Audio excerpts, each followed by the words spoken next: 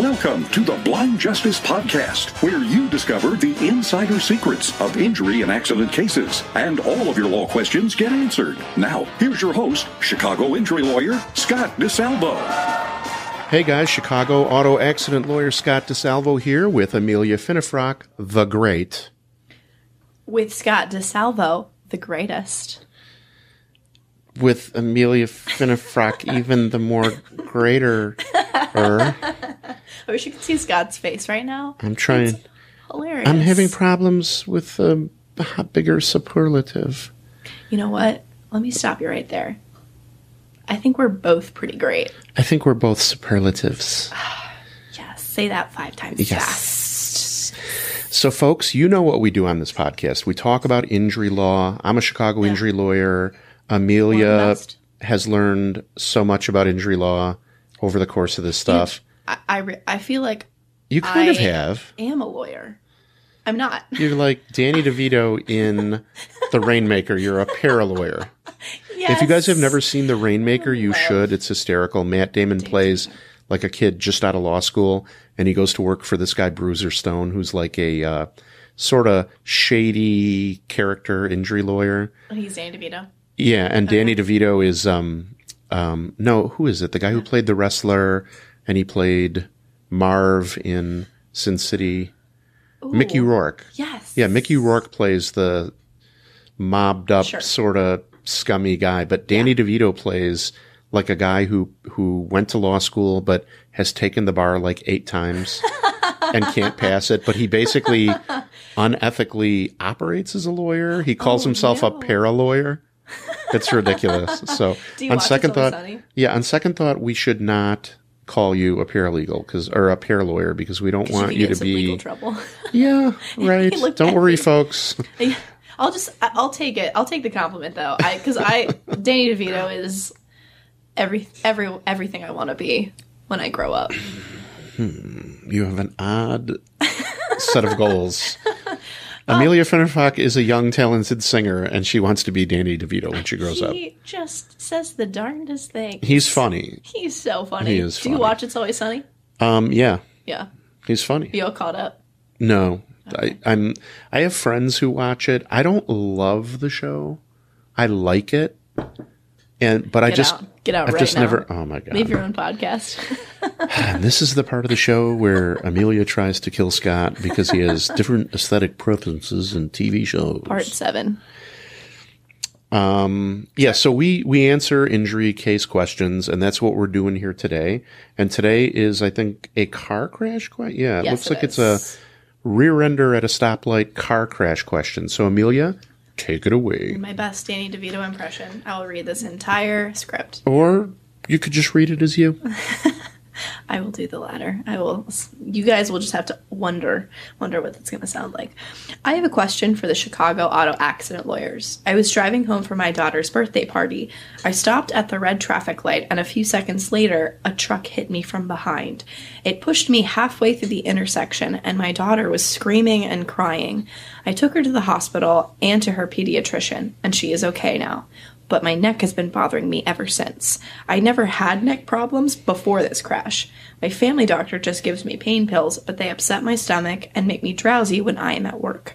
The insurance company says that there is a conflict of interest and I cannot do a case because my daughter was in the car. Is that true?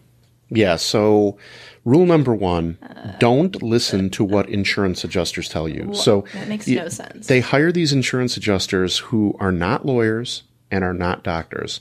And they proceed to attempt to tell the lawyer or the layperson if if the injured person didn't get a lawyer.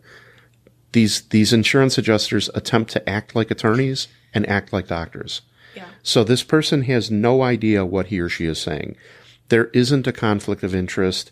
Um, but the thing is, you can't let what these idiots tell you discourage you from at least talking to an injury lawyer and getting a free consultation.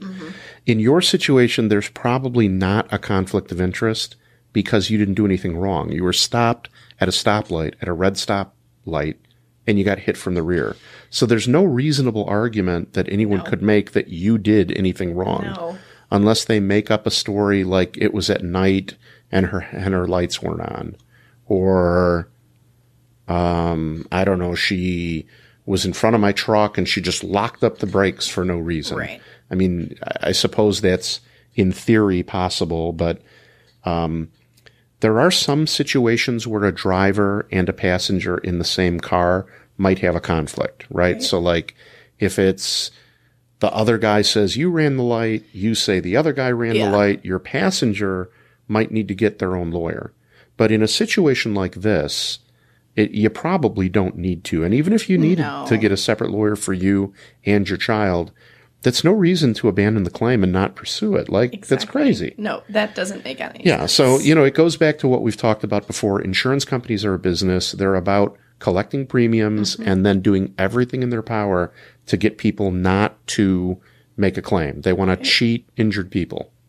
That's that's their shtick. Yeah, if they didn't want to cheat injured people, I'd be out of business, honestly. If they that's really true. Like I they do it. not they do not pay people fair amounts on these cases and Oh.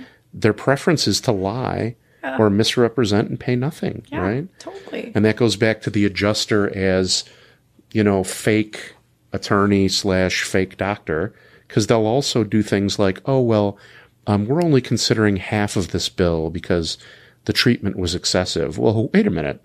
My doctor prescribed the treatment. Where did you go to medical school? right? But they just Right. deny it because they know it's a BS excuse Yeah. and they can pay less money. To- So, totally.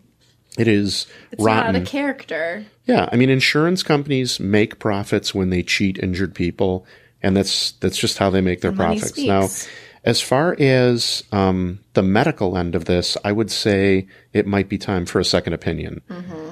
Um, many doctors or family doctors are overworked, or they're just not very, you know, they're busy and they they're not that compassionate, and they're not really listening closely to No. what their patient is is telling them. So they're happy to just say, "Mm, uh, "Yeah, come back in 60 days. Here's a script for pain pills." Right. That you know, pain pills are very helpful tools to alleviate pain, but if you're not finding out what the underlying problem is, pain pills are just going to ruin your stomach, Yeah, right? I'm a big believer in seeing a specialist because, you know, again, I'm sure your family doctor's really nice, but again, like you said, they're probably overworked. Yeah, getting to a specialist is the move. Like I Yeah. would say maybe talk to your family doctor about a referral to an orthopedist or if you have health insurance, just call your health insurance and see if you can go see an Yeah, orthopedic your directly.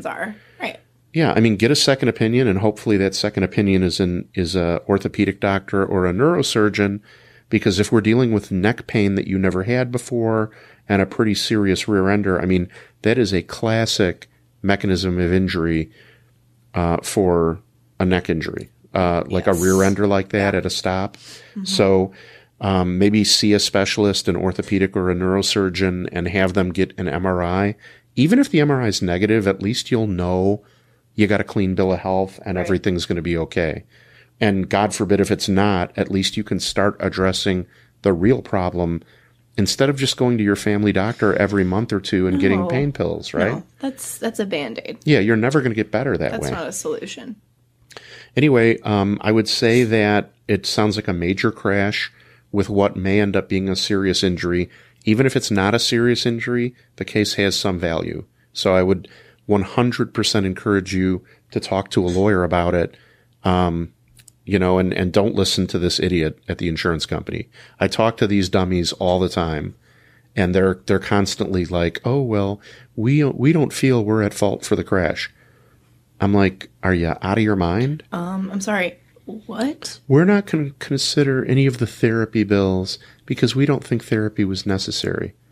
And they haven't talked to a doctor. They're just literally reaching up into the air and pulling down. Or up inside I- somewhere else. Somewhere. Scott's like, Oh, Amelia, Amelia. you just censor this. Oh, Amelia, you get so rowdy I do. with the filth. I'm proud of you. I'm just, uh, I just, I want to make this a hoot nanny, and it, Hot dog. I think Gets me every Amelia is still a little sick, and I think she's all hopped up on NyQuil. codeine. Woohoo! Yeah. Yeah. Yeah. Yep. Poor Amelia, she's sick again. You know, it builds character. I gotta get you some vitamin C, girl. What's that? Exactly. Thanks for listening, folks. I hope the info helped you and catch us next time. Thanks for listening. Till then. Thanks for listening. I truly hope that the information in the podcast helps you no matter the situation you find yourself in. But you might need more answers or some more direct help. So there are three ways for you easily to find out more and to get help. If you call my toll free 24 hour helpline, 888 HURT 318, you'll have a couple of options. 888 HURT 318 is my toll free 24 hour telephone line. You can call that number and speak with my team night or day. First, you can call 888 HURT 318 and you can speak to me for a free consultation about your case or situation. That's always free and no obligation. Second, you can tell the operator that you'd like a free copy of my injury DVD and book. I created the DVD and book and I give it away for free to injured people who need answers but who might not be ready to talk to a lawyer yet. Same deal, 100% free, 100% no obligation. Third and finally, you can check out my YouTube channel for informative videos about the injury case and claims process, or check out my other podcasts for more information and interesting interviews with people who know different things about various aspects of the law. I've put all of this together to help you and to answer your questions. Now, you can also help me, and I hope that you will. If you enjoyed the podcast and if it helped you at all, please subscribe. And if you can, take a minute and please post a positive review of the show. If you're listening to the podcast on YouTube, like the video and subscribe to my YouTube channel. And if you know anyone who might enjoy the podcast, please spread the word and share it on Facebook. It's my mission to spread good information to as many people as possible. And your liking and reviewing and subscribing to the podcast helps me get the word out. Thanks again. This podcast is for informational and entertainment purposes only. It doesn't substitute for consulting with a lawyer. If you have a case, speak with a lawyer right away.